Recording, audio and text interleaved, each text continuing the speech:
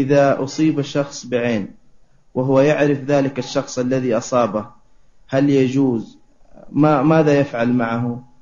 يطلب منه يطلب من العاين إنه إنه يدعو له بالشفاء ويبرك عليه يدعو له بالبركة والشفاء ويستغسل منه يأمره أن يغتسل ويغسل ويغسل آه، ثيابه ثم يأخذ الغسالة ويتصب على المصاب بالعين ويشفى بإذن الله.